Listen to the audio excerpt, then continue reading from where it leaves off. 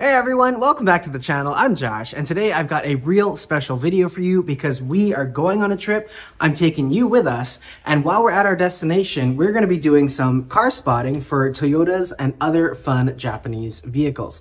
So, go pack your bags because I'm taking you to Hawaii.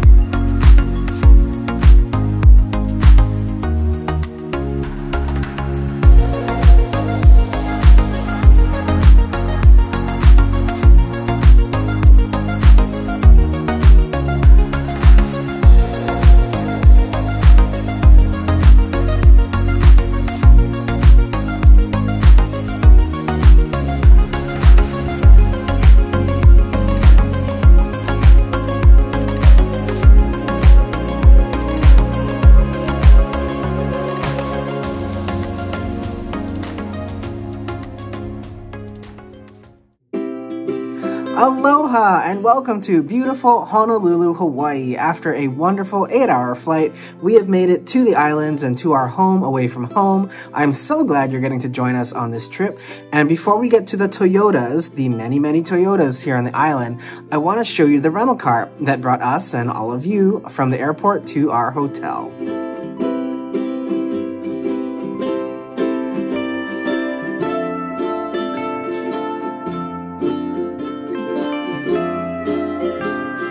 Yes, as much as people don't believe me when I say it, I actually do really enjoy renting Tesla cars and driving them around whenever we have the chance. I just wouldn't want to own one.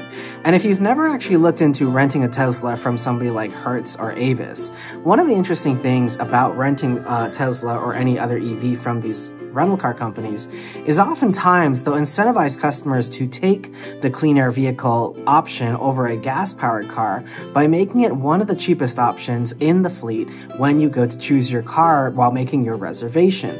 So if you're in a location with a Tesla fleet and it's going to work for the needs that you have while renting that vehicle, they are a great option. And sometimes as well, you can even get other perks like free parking in some places or waive tolls or things like that on the ground at your destination. Okay, now on to the Toyotas. So, if you've ever been to the islands, you might know that about 45% of the state's population is of Asian descent. And that's a lot in part due to the days of the sugarcane plantation labor that came to Hawaii in the late 1800s to early 1900s. And while that's not the only factor in Toyota's success here, it is a big one. And Hawaii has a long and enduring love affair with Toyota that continues through to this day. In fact, when you combine the sales of Toyota, Honda, Subaru, and Lexus together, they make up a whopping 49.7% of the total market of vehicles in Hawaii. So with that, let's kick off our hopefully fun video by taking a look at the number one best-selling vehicle in the islands. And if you don't know what it is, it might be a little surprising and it's the best selling vehicle by a large margin as well. And to prove that point, I took a picture of every one of these cars that I saw in about a two to three mile stretch while walking around the beautiful Kapi'olani Park here in Waikiki. So let's go ahead and see what the best selling car in Hawaii is and how many I saw in a about two to three mile stretch.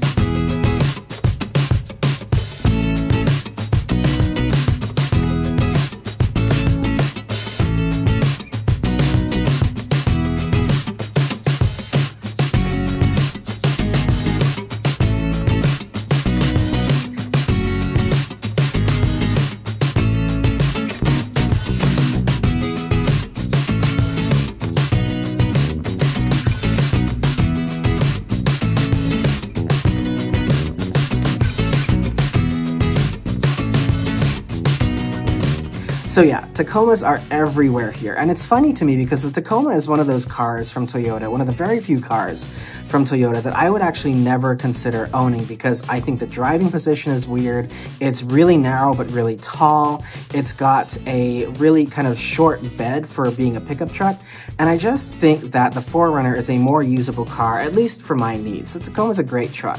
It's just not a car that I would ever want to own. One, but all two, those things that I mentioned make three, it the perfect vehicle for locals here four, who want to throw a cooler and five, a surfboard in the back of their Tacoma and head to the beach. Six, and so the Tacoma seven, is and probably always will be the best seven. selling vehicle here in the islands. Now, you might have also seen in all those photos of the Tacoma that there are also a ton of 4Runners here, and although it's not the second best-selling, it is the third best-selling vehicle in the islands. And because it's such a huge hit with the locals, let's take a look at a really special, but probably little known outside of the state of Hawaii, special edition 4Runner that only Hawaii got back in 2019. Alright guys, and over here we have another special Toyota. This is a 4Runner 1919 Waialua edition. So there's a bit of history here that I may or may not cover in other parts of this video about uh, Toyota in Hawaii. It is a separate entity from Toyota North America because Toyota actually is its own franchise here in Hawaii. So it's not part of Toyota North America. It's part of Servco Pacific Toyota Hawaii. One of the things that they did for the 4Runner was when the Servco Group celebrated its 100th anniversary in 2019, they made a special edition 4Runner that only got sent to Hawaii. It's called the 1919 Waialua edition, and that's the badge you see over here. This 4Runner came in Voodoo Blue, but it had the special limited wheels with the silver roof racks and kind of a TRD Pro like face which I always thought was a weird combination, but in any case, this is an absolutely beautiful car, and this is actually the only other Voodoo Blue 4Runner from the Tahara plant that was ever made, and that might make it one of the rarest 4Runners ever. They are quite common here because I don't believe that they were limited edition. They were specifically for that one year, but I don't believe they were in limited quantities like to 500 or anything like that but uh, you only see these here because I don't believe any, to my knowledge, have been shipped off to the continental US. So here is a Voodoo Blue 4Runner from the factory that's not a TRD Pro. Okay, and before we get off the 4Runner, here's a fun fact for all you 4Runner lovers out there.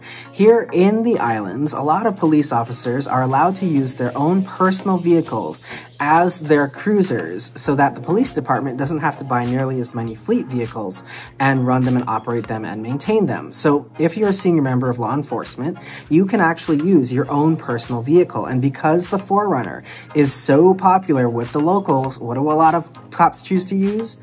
The 4Runner. And I always think it's kind of funny to see them because having owned a 4Runner for four years and, and just knowing how they drive, I don't think it would be too hard to outrun one because they are slow AF and they don't handle that well. But I'm not willing to experiment by trying to outrun one, so we're gonna leave it there for now. But if you if you come to Hawaii and you break the rules of the road, you might just get pulled over by a little Toyota 4Runner.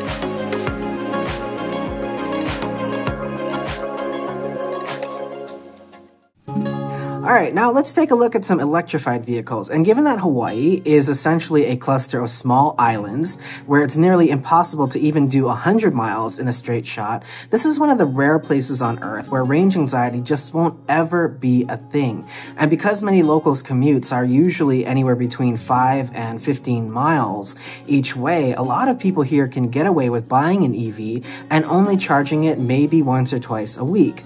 And so in this case, in this rare circumstance, this is one of those places where you actually can buy an EV without having a place to plug it in every single night because going to a charging station once or twice a week might be doable for some people. And with the Hawaiian philosophy of living pono, which means to have respect and reverence for your surroundings and leave the aina better than you found it, It shouldn't come as any surprise that Hawaii loves its electrified vehicles and has one of the highest adoption rates in the United States at well over 10% of new vehicles sold being electrified vehicles. And I swear to you that this state is the whole reason that RAV4 Primes are so scarce everywhere else because they're literally a dime a dozen here in the island. Driving around, I swear we saw at least three to four of them a day, if not even more than that.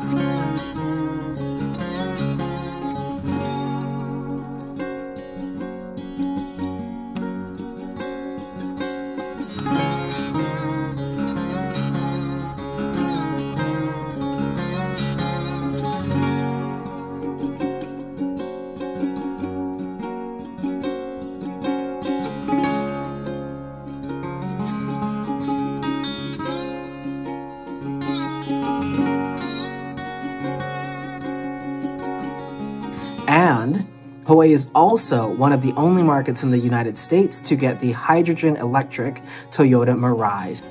Alright guys, so there is an old Mirai, last generation, and here is a new Mirai, and it's raining here, so I'm gonna make this quick, but check this out. I actually think this is one of the most beautiful cars Toyota has ever made, and this one is fully loaded to the gills. We've got the pana roof, we've got the turbine wheels, full hydrogen electric vehicle.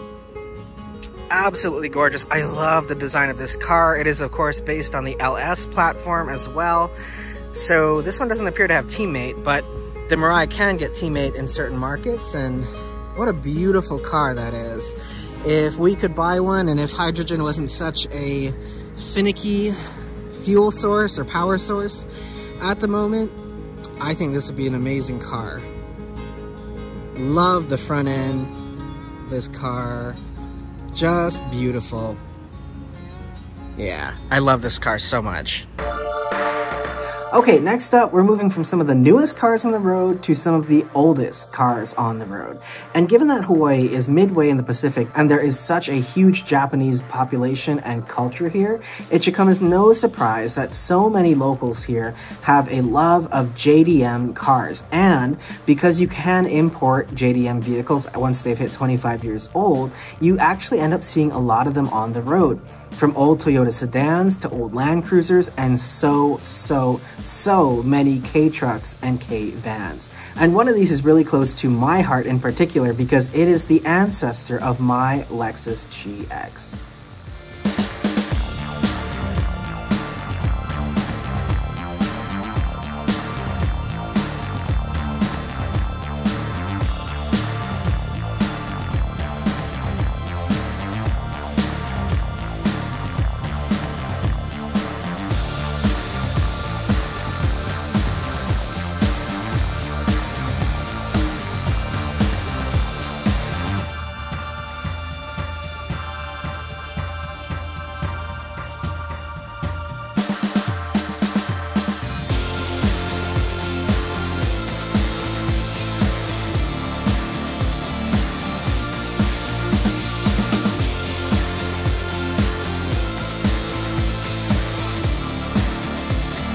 Guys, take a look at this amazing truck over here. This is an OG Land Cruiser Prado, which makes this the great grandfather to my 2023 Lexus GX, which is of course a fourth gen Land Cruiser Prado. And oh my gosh, take a look at this absolutely amazing truck.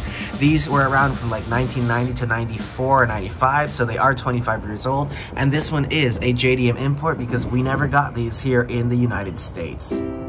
And finally, Hawaii is of course a land of perpetual summer where the temperatures rarely ever drop below 60 and rarely rise above 90. As such, it is the perfect climate to keep cars looking good for a long time and combined with the short commutes and low mileage that people put on their cars here, you often see a lot of cars on the road here that would have died off a long time ago had they been on the continental United States. And so, Wrapping up this video, here are some old and older cars that we saw on the road that I just had to take a picture of and share with all of you.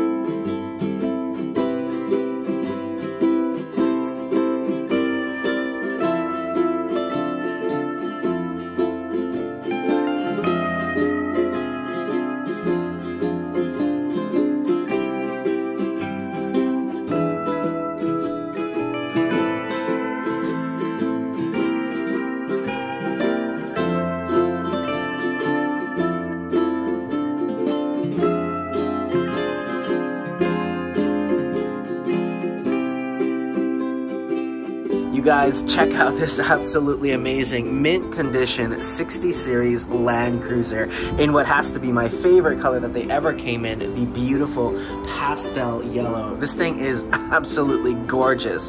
If someone could just hand me the keys to this Land Cruiser and a little beachfront cottage here in Hawaii and I could live the rest of my days here on the islands, I would be the happiest person on earth. And this is why, look at this beautiful truck. This is why I love Land Cruisers so, so much. So yeah, there you have it. Those are all the cool and fun Toyotas, among other cars, that we saw while in the islands. We've had an absolutely amazing trip. I'm so glad you guys got to come along on this little car spotting adventure with us. And thank you so, so much for watching. If I haven't already, there's also a quick drive uh, video coming up on the channel here from an automaker we hadn't ever driven a car from before on this channel. So really excited for that. I'm not sure exactly which order, in what order the two videos are going live that I've shot while we're here in the islands, but if this is the second, you've already seen that one. If this is the first, keep an eye out for that one. Thank you guys so, so much for watching. I will see you in the next one. As always, leave anything, any questions, comments, observations, anything like that down in the comments, or you can also email me here at the email on screen. Thank you guys again so, so much for watching. Happy 2024. I will see you all real soon and take care.